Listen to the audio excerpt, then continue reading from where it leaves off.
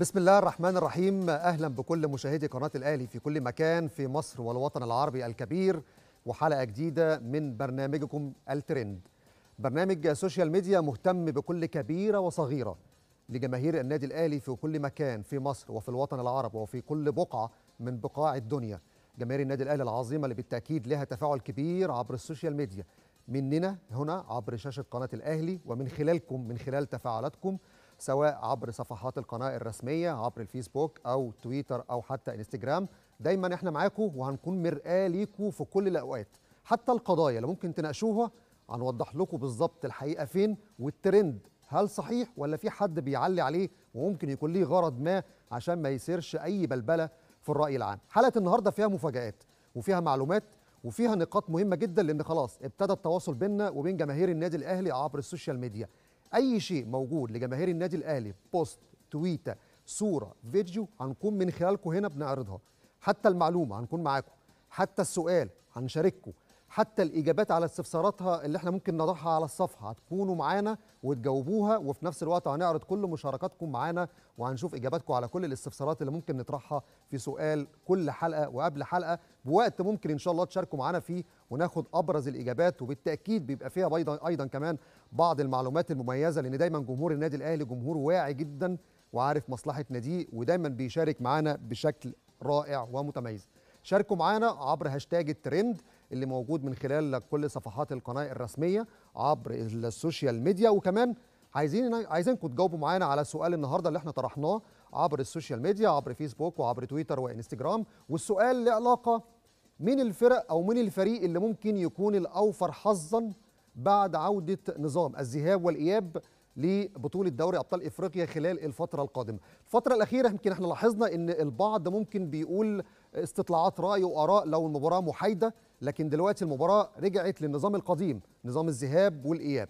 طيب جمهور النادي الأهلي أو الجماهير المصرية بشكل عام والعربية والمغربية أيضا تشارك معنا عبر هذا السؤال وتقول مين الفريق اللي ممكن يكون الأوفر حظا أداؤه ممكن يكون بيساعد في فكرة الذهاب والإياب أداؤه التكتيكي أداؤه الفني أداؤه المهاري التاريخ والحظ كمان ممكن بيكون بيساند مين الفريق اللي ممكن نظام الذهاب والإياب بيساعده إن هو يقدر يطلع بنتيجة أفضل قبل المباراة النهائية. على المستوى الشخصي وعلى المستوى الإعلامي طبعا كلنا بنتمنى النادي الأهلي لكن هنشوف استطلاعات الرأي وهنشوف الناس لما تشارك معانا الرؤية ومشاركات الجماهير معانا رايحة في أي اتجاه. شاركوا معانا في إجابة هذا السؤال وفي نهاية الحلقة إن شاء الله هنعرض كل مشاركاتكم وفي ظرف ساعتين في إجابات وفي تفاعل كبير جدا على هذا السؤال من خلال صفحات القناة الرسمية. لكن معانا النهارده ثلاث ترندات ترند أهلي وترند محلي وترند عالمي. وفقرة سكايب إن شاء الله هتكون مفاجأة لكل المشاهدين فيها معلومات كثيرة جدا وإن شاء الله بنحضر لكم فيها مفاجآت رائعة بالنسبة لكل جمهور النادي الأهلي. لكن بسرعة نروح لعناوين الحلقة والثلاث ترندات النهارده اللي هنتكلم فيهم أهلي ومحلي وعالمي. في ترند الأهلي الأهلي يطلب مواجهة الوداد على استاد القاهرة.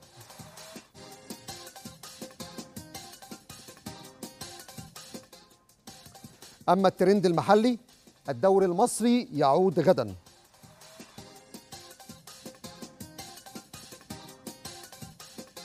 وفي الترند العالمي نجوم الرياضة يتضامنون مع لبنان.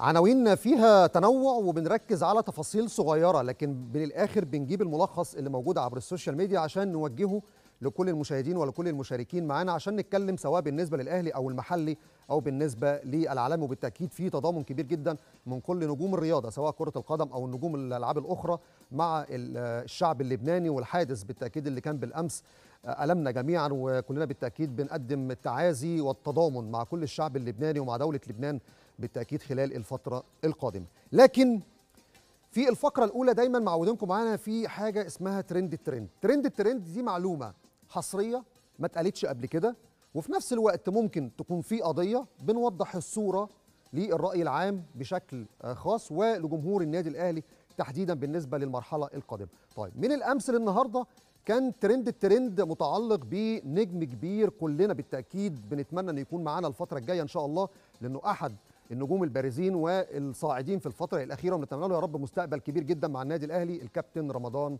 صبحي. ترند الترند هنا هيوضح تفاصيل ومعلومات خاصة بهذا الموضوع لأن الكيس ده تحديدا على مستوى العالم في تفاصيل وبتختلف في الرؤى ما بين اتحاد واتحاد ونادي وآخر وقارة وأخرى.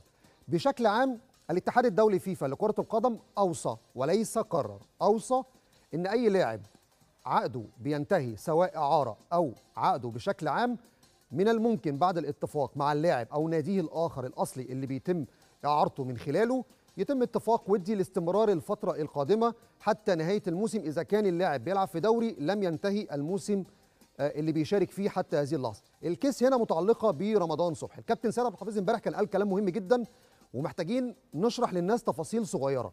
في بمعنى إيه؟ لازم يكون في اتفاق بين الأهلي وهيدرسفيلد الإنجليزي ورمضان صبحي على استمرار ومد الإعارة حتى نهاية الموسم المحلي والإفريقي في مصر. طيب إذا كان لسه في اتفاقات أو بيتم بعض الاتصالات في الفترة الحالية عشان الناس تعرف الفترة الجاية ممكن يحصل فيها إيه. أنا هتكلم بالشكل القانوني أو الشكل اللائحي بعد الاتصال بعدد من المسؤولين سواء في اتحاد الكرة أو حتى كمان استطلعت آراء بعض الناس اللي موجودين في لجنة شؤون اللاعبين بالاتحاد الدولي وتحديدا غرفة المنازعات. لأن هنا الكلام بيبقى مهم جدا ولازم نشرح لجمهورنا التفاصيل الدقيقة في هذا الأمر. في نقطة غايبة على الناس ولازم الناس تاخد بالها من الموضوع ده الفترة الجاية.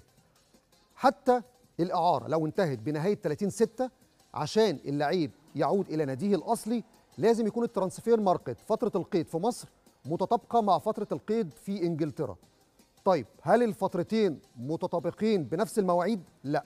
فبالتالي حتى إذا تم الاتفاق أنا بتكلم بشكل عام في المعلومة حتى إذا تم الاتفاق على نهاية الإعارة ب 30 6 هنا لو هيدرسفيلد طلب البطاقة النادي الأهلي مش هيقدر يرسل البطاقة لأن اتحاد الكره في مصر ما زال فترة القيد أو مواعيد القيد مغلقة مفيش مواعيد جديدة. اللي كان منشور في يلا كورة بخصوص القيد ده كان متعلق ب 2019 الفيفا لسه ما قررش مواعيد القيد بالنسبة لمصر خلال الفترة القادمة لأن الدوري لسه هيبدأ من بكرة ولسه مش عارفين نهاية الدوري إمتى عشان تفتح القيد قبل نهاية المسابقة بشهر. طب في إنجلترا القيد هيكون موجود على ال system من إمتى؟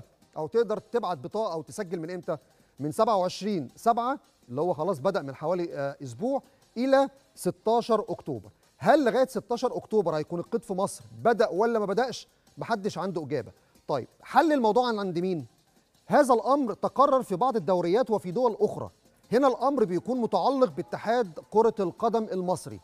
بيطلع منشور لكل أندية الدوري المصري إن أي لعيب إعارته هتنتهي بعد 30 6 يقدر يكمل الموسم بتاعه بعد الاتفاق مع اللاعب خلال الفترة القادمة. اتحاد الكورة إذا اتخذ هذه الخطوة خلال الساعات القادمة زي ما في دول خدت هذا القرار زي المغرب زي السعودية زي الدول اللي بتكمل مسابقاتها لغاية اللحظة دي هنا بيضمن مصلحة النادي التابع ليه ومصلحة اللاعب المعار اللي بيلعب في هذا النادي اللي الدوري بتاعه لسه ما انتهاش.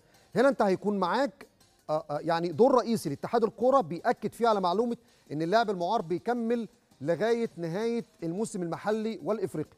نفس الأمر بيتكرر في المغرب. عندك محمد النهيري اللاعب نادي الوداد الظهير الأيمن عقده انتهى. لكن طلع قرار من الاتحاد المغربي اللاعب اللي عقده انتهى أو اللاعب المعار. ده هنا بقى منشور رسمي من الاتحاد المحلي عشان يضمن مصالح النادي واللاعب. فبالتالي بيقدر يكمل حتى نهاية اعارته كل ده متعلق في إطار عام. أنا بتكلم في إطار عام. أكيد في اتصالات بتتم في الفترة الحالية بين النادي الأهلي ونادي هيدرسفيلد ومع رمضان صبحي. أصلا كمان في فكرة إن المفاوضات إن شاء الله يعني خلاص داخلة في مراحل متقدمة وإن شاء الله رمضان هيكون لاعب في صفوف الأهلي خلال الفترة القادمة. دي نقطة كابتن سيد أكد عليها إمبارح وكانت نقطة مهمة جدا وإن شاء الله ما يكونش فيها أي جدال إن رمضان صبحي يكون لاعب في صفوف النادي الأهلي. لكن هي الجزئية المهمة حتى إذا ما تمش الاتفاق والإعارة نهايتها 30 6 أنا مش هقدر أبعت البطاقة لأن ال transfer عندي لسه مغلق وفي إنجلترا آخر يوم الله أعلم وقتها هنا الترانسفير هيكون بدأ ولا ما بدأش. فبالتالي كلنا رايحين في اتجاه الاتفاق الودي وفي النهاية مش هيكون في أي أزمة. كان لازم نشرح للناس الجزئية دي عشان لازم الناس تعرف إن في فرق ما بين مواعيد القيد في مصر مع مواعيد القيد في إنجلترا. وإن شاء الله المفاوضات خلال المراحل المتقدمة الفترة الجاية هتكون في صالح النادي الأهلي ويحتفظ بنجمه المتألق رمضان صبحي كأحد الدعائم الأساسية في صفوف فريق النادي الأهلي. نخرج إلى فاصل ثم نواصل.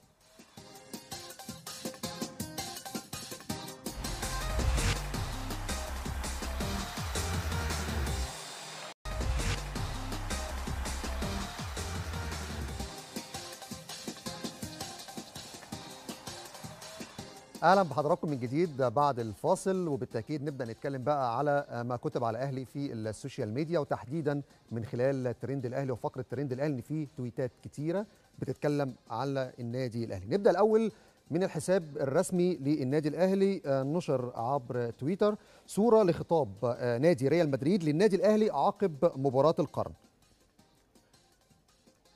وكتبت صفحة الأهلي اليوم على الفيسبوك إحصائيات لرمضان صبحي مع الأهلي محليا في الموسم الحالي. أما الحساب الرسمي لموقع يلا كورة على تويتر نشرت فيديو عن احتمالية غياب رمضان صبحي عن المشاركة مع الأهلي في المباريات ومدى تأثير رمضان على هجوم الفريق. وأيضا الأهلي يتفوق في استفتاء الصفحة الرسمية للاتحاد الإفريقي كاف على تويتر عن النادي الذي تدعمه في نصف نهائي دوري أبطال إفريقيا بنسبة 65% حتى الآن. والحساب الرسمي للفيفا أيضا على تويتر عمل استفتاء عن الاكثر شعبية بين النادي الأهلي ونادي فلامينجو البرازيلي. طبعا دعوة لكل جمهور الأهلي للدخول على حساب الفيفا والتصويت للأهلي.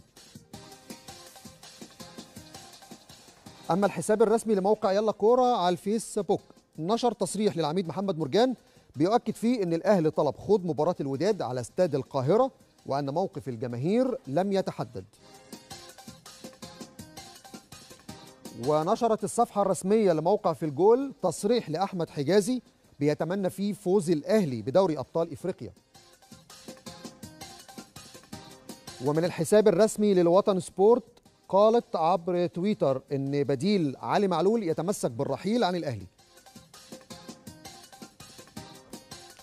كمان الصفحة الرسمية لموقع سوبر كورة على الفيسبوك كتبت إن الأهلي نفى إشاعات وجود عروض لكهربا وديانج وبادجي وصفحة استاد الأهلي على الفيسبوك أيضا أشادت بمستوى الشناوي. أما صفحة ماجيكانو على الفيسبوك نشرت سؤال عن اختيار ديانج أو حمدي فتحي لمباراة الوداد في حال جاهزيتهم إن شاء الله هما الاثنين نتمنى يا رب الاثنين يكونوا موجودين. أما لاعبنا محمود كهربا نشر story قدامكم على الشاشة على الإنستجرام هنأ فيه زميله حمدي فتحي بشفائه من فيروس كورونا. أخيرا حب الأهلي ملوش حدود. محمد جابر أحد جماهير الأهلي نشر عبر حسابه على الإنستجرام صورة لمقر عمله وتم تصميمه بروح الأهلي. فيديو هيكون معانا هنتكلم عليه. أهلا بحضراتكم من جديد وبنتكلم بالتأكيد من خلال ما كتب عبر صفحات ال social media للعديد من المواقع الرياضية وحتى الصفحات الجماهيرية اللي مهتمة بشكل كبير جدا بالنادي الأهلي ولاعبيه خلال الفترة الأخيرة. أول حاجة الحساب الرسمي للنادي الأهلي عبر تويتر اهتم بشكل خاص بذكرى مباراة ريال مدريد. زي امبارح مر على هذه المباراة في حدود حوالي 19 سنة. مباراة كانت كبيرة ومباراة عظيمة. الخطاب اللي أمامكم على الشاشة ده كان خطاب من نادي ريال مدريد للنادي الأهلي عقب مباراة القرن المباراة اللي فاز فيها الأهلي على نادي ريال مدريد الملكي اللي كان مدجج وقتها بأبرز نجوم الكرة الأوروبية والعالمية. الخطاب فيما معناه ومضمونه إن طبعا ريال مدريد بيقول للنادي الأهلي إحنا شركاء وأي انتصار للنادي الأهلي هو انتصار لينا. روح رياضية بين نادي القرن في أوروبا ونادي القرن في إفريقيا وعظماء الكرة في العالم بين الأندية الكبيرة على مستوى العالم والنادي الأهلي دائما وابدا بيشرف الكرة المصرية. برضو معايا يمكن الحساب الرسمي لموقع يلا كورة عبر تويتر نشر فيديو عن احتمالية غياب رمضان صبحي عن المشاركة مع الأهلي. في الفترة القادمة. حسب الاحتمالية طبعا طبقا للمعلومات اللي ذكرت بالأمس من خلال الكابتن سيد على الفترة القادمة. لكن يلا كورة اهتم بالناحية الفنية تأثير رمضان على هجوم الفريق. فيديو انفوجرافيك كده معمول بسيط بالنسبة لمشاركة رمضان أو تأثير غياب رمضان على الفريق خلال الفترة القادمة.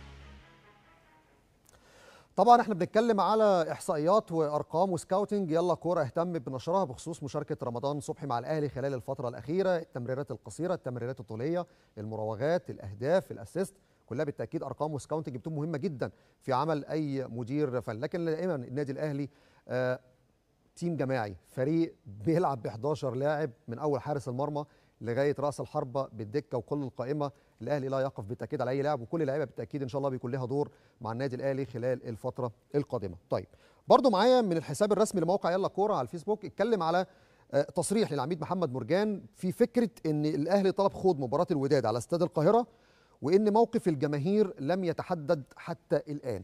النقطة دي مهمة جدا لأن من دلوقتي النادي الأهلي بيحضر بشكل جيد لمباراة يوم 3 أكتوبر.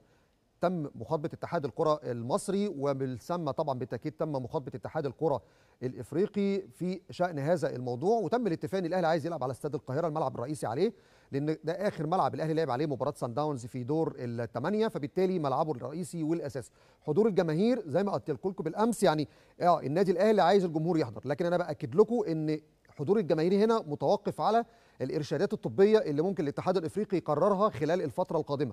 اللي هيطبق على مصر هيطبق على المغرب ولو في أعداد محددة واللجنة الطبية في الكاف هي اللي هتقول الرؤية في هذا الأمر ده هيبان في الفترة اللي جاية. إذا كان في حضور وبعدد النادي الأهلي هيشتغل على هذا الملف وإزاي الجمهور إن شاء الله يكون مؤازر وحاضر مع النادي الأهلي في المباراة إن شاء الله الفترة اللي جاية.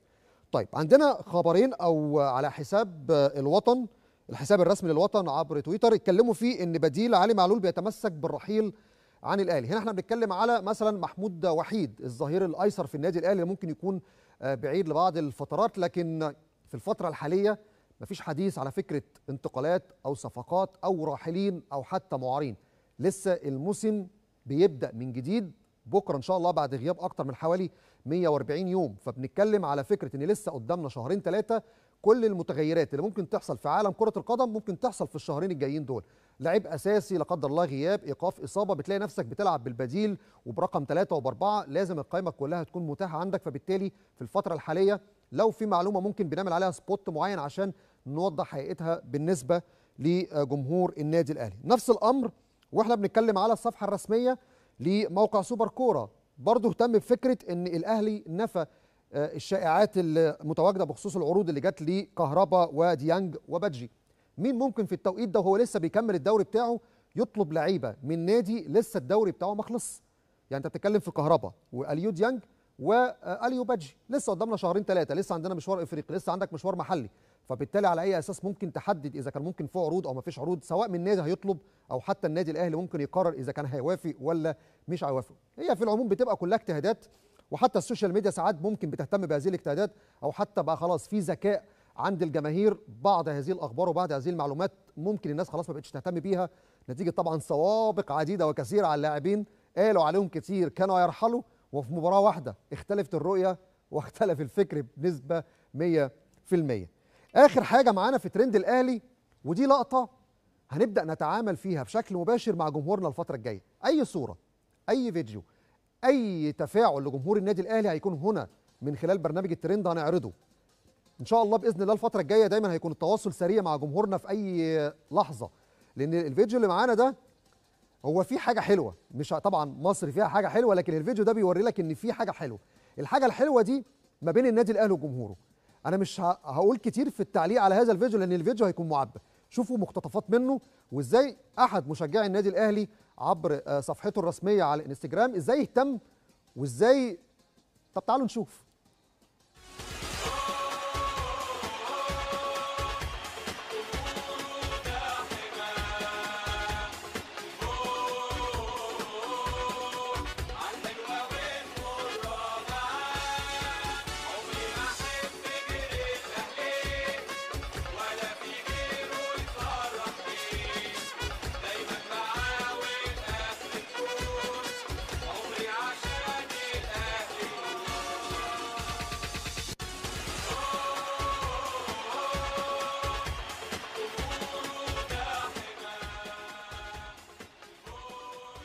عشق الاهلي ملوش حدود. شفت المشهد شفت الصورة؟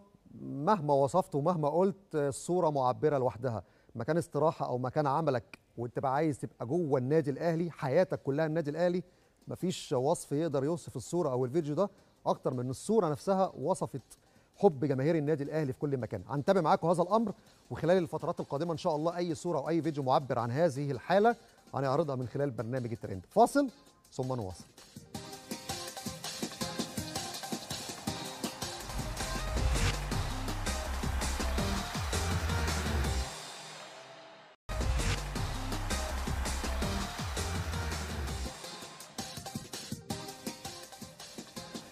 أهلا بحضراتكم من جديد وبالتأكيد فقرة مهمة جدا فقرة السكايب. هذه الفقرة مهمة جدا عشان هنتكلم على تفاصيل متعلقة بدوري أبطال إفريقيا وتفاعل ال social media سواء في مصر في المغرب. عندكم أربع فرق جماهيرية ذات طابع شعبي كبير جدا. طبعا لولا الكورونا كان هيبقى الوضع مختلف. جماهير الأهلي جماهير الزمالك جماهير الوداد جماهير الرجاء بتتكلم على تفاعل كبير جدا عبر ال social media من أول ما تحددت أطراف المربع الذهبي. لذلك عبر السكايب لازم يكون لنا تواصل مع أشقائنا في المغرب. بالتأكيد هنذهب مباشرة عبر السكايب مع أحد الكتاب الصحفيين المتميزين. ذو التفاعل الكبير عبر ال social media والمصداقية العالية مع جماهير الكرة المغربية وأيضا في متابعة كبيرة جدا من جماهير الكرة المصرية خلال الفترة الأخيرة. الأستاذ منعم بالمقدم الناقد الرياضي في الجريدة الأوسع انتشارا في المغرب جريدة المنتخب المغربية. أستاذ منعم برحب بيك عبر شاشة قناة النادي الأهلي شاشة نادي القرن. سعداء بتواصلك معنا وبالتأكيد عندنا موضوعات كتير هنتكلم فيها. منور أستاذ محمد وشكرا لك على هذه الدعوة وأكيد لي كل الشرف بأن أحل ضيفا على قناتكم الكريمة مع خالص التوفيق ولا يساورني شك في أن الترند محمد سعيد وكافة البرامج الجديدة والمنقحه على قناة النادي الأهلي تجد لها صدى كبيرا ومرة أخرى أجدد لك الشكر على هذه الدعوة الكريمة. اولا إحنا كنا سعداء بالصدى الكبير لافتتاح قناة الأهلي في الشكل الجديد والانطلاقه وكانت في ردود فعل إيجابية جدا من الجماهير المغربية وحتى من الكتاب والإعلاميين المغاربة وكان ليك دور وشاركت في هذا الموضوع.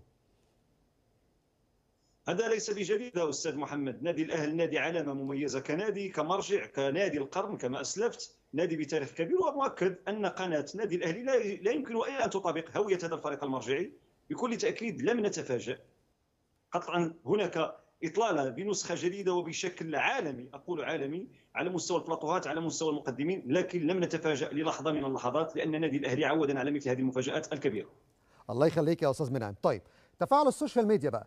مباراة ال semi final الأهلي والوداد والزمالك والرجاء والأمور راحت وجت كذا مرة. لا مباراة في ملعب محايد لا النهائي في الكاميرون لا نرجع لنظام الذهاب والإياب.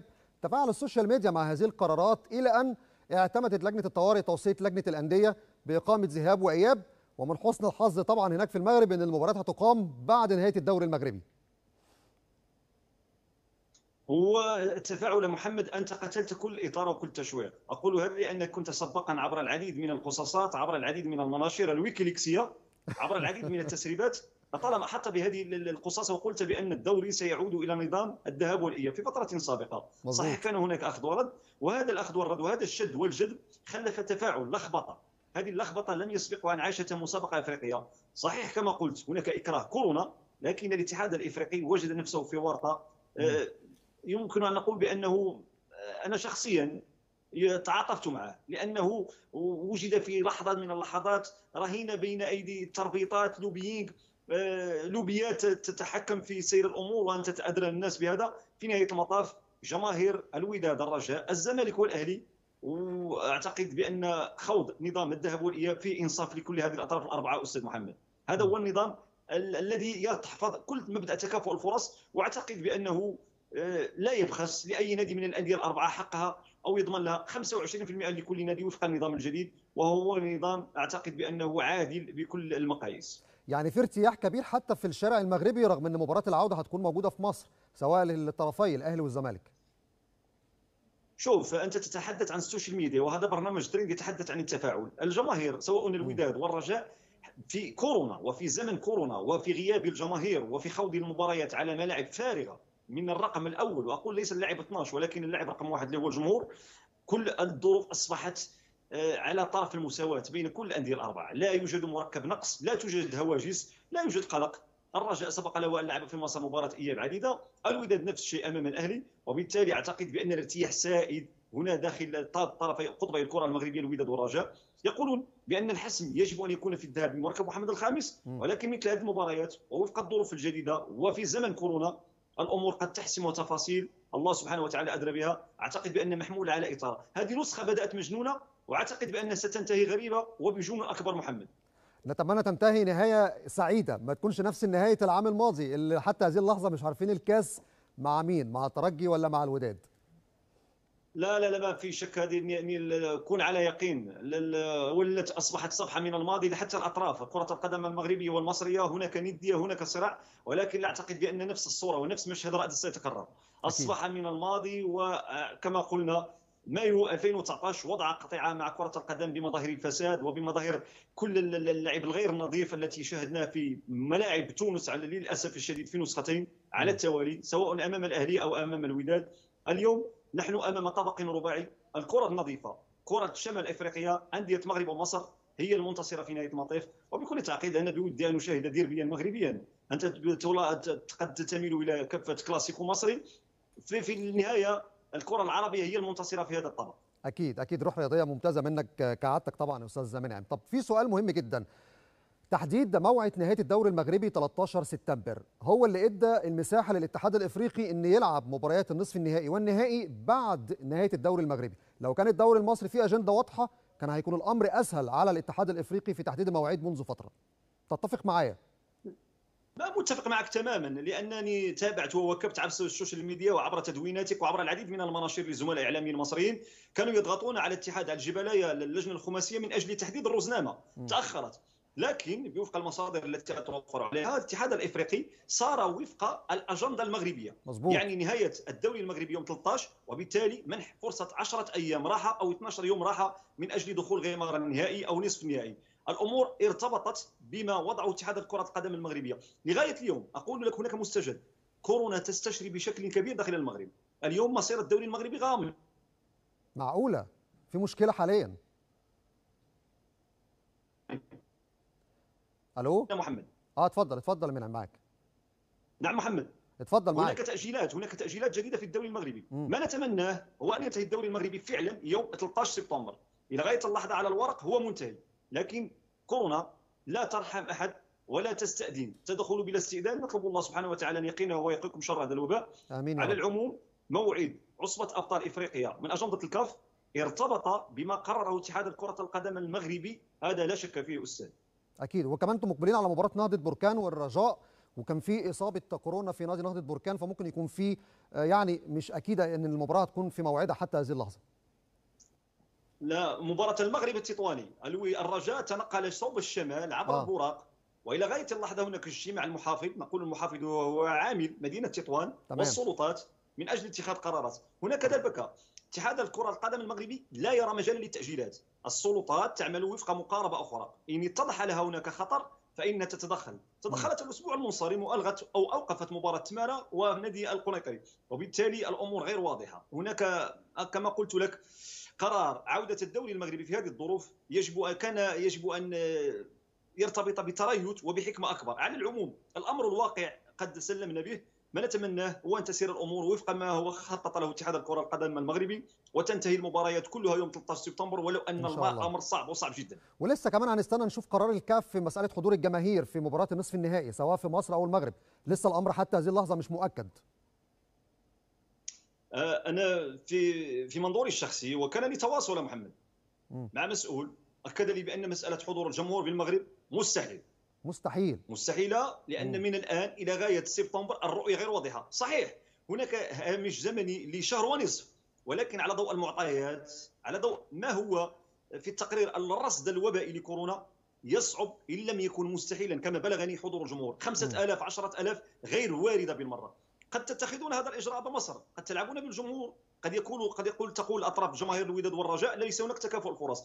ولكن هذا قرار سيادي مرتبط بقرار السلطات وليس بقرار اجهزه رياضيه تمام. ملعب محمد الخامس لن يشهد حضور الجمهور لا في مباراة بيراميدز وحورية كوناكري حقيقي. ولا في مباريات الوداد والرجاء ولا في مباراة بركان وحسنية أكادير. طيب آخر سؤالين بسرعة عشان الوقت جري معاك بسرعة جدا. نهائي إفريقيا ممكن يكون فين لو الطرفي مصري مغربي؟ عندك معلومة أكيد. أعيد السؤال محمد. نهائي إفريقيا إذا كان الطرفي مصري مغربي ممكن يكون في أي دولة؟ عندك معلومة ممكن الدولة اللي تقدم للاستضافة قبل 17 أغسطس؟ كن على يقين المغرب سيتقدم بترشيحه استباقا لأي حدث لأنه في احتمال تأهل النادي المغربي سيكون هناك لوم لاتحاد الكره القدم المغربي. وبلغني أن المغرب سيترشح بغض النظر عن كيف من الناديين اللذان سيتأهلان. بس إن تأهل بس أكيد النهائي الكاف سيلعب في المغرب. بس الكاف قال ما مصر والمغرب ما يقدموش لغاية لما نشوف مين الدول اللي هتطلب. هناك الحديث عن السنغال والحديث عن تنزانيا والحديث عن آه. رواندا. إلى غاية اللحظة. تمام. ثلاث بلدان. تمام. لك لكن المغرب هتقدم. من وجهة نظرك ومعلوماتك برضه المغرب المغرب سيتقدم لأنه في حال تأهل الوداد والرجاء النهائي سيلعب في الدار البيضاء كما سيلعب نهائي الكونفدرالية بالرباط. تمام. هذا أمر محسوم فيه. تمام تمام. طيب نقطة أخيرة. في ارتياح في المغرب بعد استبعاد بكاري جسامة من الحكام المرشحين لكأس العالم. قلنا الكلام ده امبارح وحسيت إن في رد فعل. إيجابي. هذا ما فيه شك. آه. هذا ما في شك. وأنا أنا كإعلامي ينبغي أن. نتحلى بنوع من الرزانة ومن الحكمة. ولكن أقول بأن مجرد حضور قسمة في مباراة نادي من أندية المغرب أو مصر سيشعل سيوتر سيشعل تمام. الأجواء. أفضل قرار الاتحاد الإفريقي اتخاذه هو استبعاد هذا الحكم. زميلي العزيز. معي واقعة عماد متعب؟ أكيد آه. وتذكر معك واقعة رادس. تمام. وبالتالي درءا لكل الشبهات ولكل التباس. كي تمر الأمور على افضل. ما يرام بين لقاء الأشقاء المغاربة ومصر ينبغي استبعاد هذا الحكم لأنه كان طرفا اساء بشكل أو بآخر إلى النهائيات الأخيرة التي لعبت في عصبه الأبطال كرة القدم الإفريقية محمد فيها تيسيما. فيها حكام كبار فيها مالونغا فيها أمين. عمر فيها غربال ليس لا يوجد فيها قسمه فقط. أكيد. ينبغي استبعاد هذا الحكم والجماهير الودادية تعبر عن ارتياحها لاستبعاد هذا الحكم. هذا ما فيه شك محمد. أكيد. زميلي العزيز منعم بالمقدم الناقد الرياضي في جريدة المنتخب المغربية بشكرك شكرا جزيلا على هذه الإطلالة والمشاركة معنا عبر السكايب من المغرب.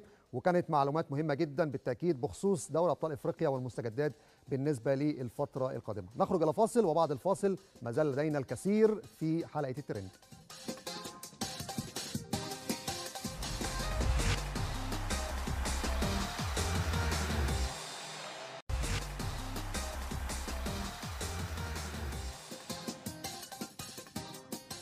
أهلا بحضراتكم من جديد والفقرة الأخيرة من برنامج الترند وبنتكلم بقى عن الكرة العالمية والترندات العالمية في اللحظات وفي المتابعة عبر ال social media في الأيام الأخيرة أو الساعات الأخيرة. طبعا كلنا فوجئنا من حادث الانفجار اللي وقع في لبنان وقلوبنا كلها مع الشعب اللبناني الشقيق وسارع عدد كبير جدا من نجوم الرياضة سواء في مصر أو حتى في كل دول العالم لدعم لبنان وشعبها من خلال عناوين هنقولها مع حضراتكم. البداية كانت مع محمد صلاح نجم مصر ونادي ليفربول الإنجليزي.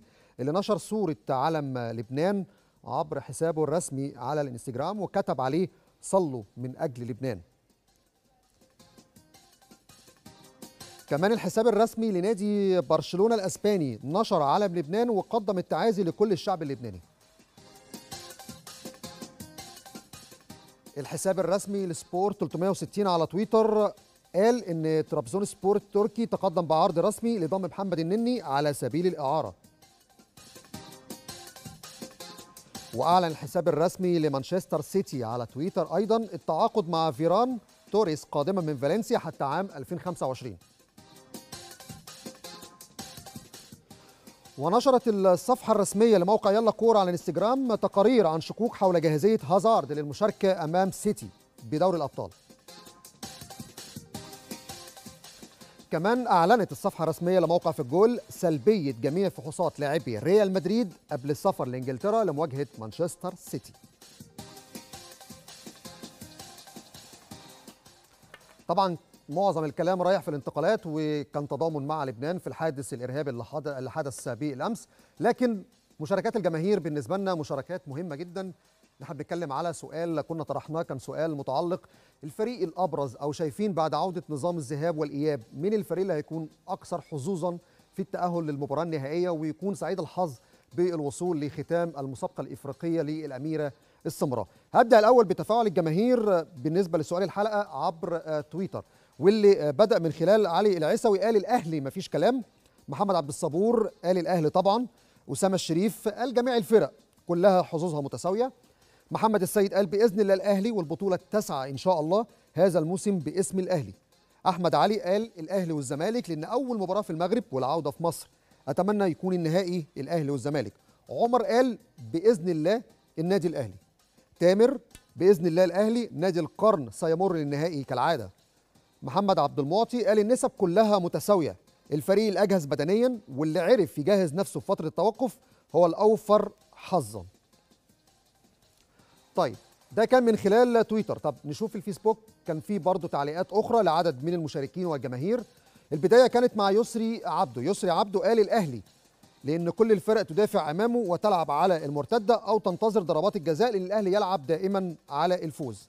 إبراهيم عبد الشافي قال أكيد الأهلي لأن خبرات اللعيبة مش هتفرق معاها ولا النظام الجديد ولا القديم. الأهلي هاشتاج ملك إفريقيا. محمد عبد المجيد قال الفريقين اللي هيتلعب الإياب على أرضهم هم الأوفر حظا. وحسام جلال قال بإذن الله تكون البطولة أهلاوية. وأحمد المصري قال إن شاء الله يكون المفيد أو هذا النظام مفيد للمارد الأحمر ويحقق البطولة التاسعة. وعبد العزيز أو عبد العال عزت قال الأهلي والرجاء في النهائي إن شاء الله. وحسني إيهاب قال الأهلي مش هيفرق معاه.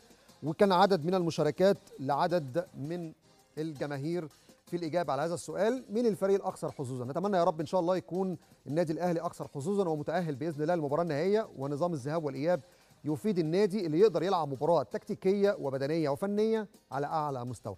بشكر حضراتكم على حسن المتابعة والمشاهدة وبإذن الله نلتقي في حلقات أخرى من برنامج الترند. شكرا وإلى اللقاء.